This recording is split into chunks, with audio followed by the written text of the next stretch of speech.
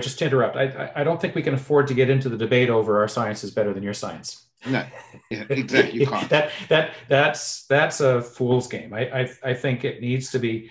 I don't care whether you believe your science or our science. The point is, we're all screwed.